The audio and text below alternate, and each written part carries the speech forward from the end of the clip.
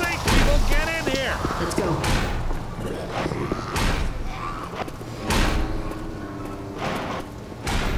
Into the safe room, people.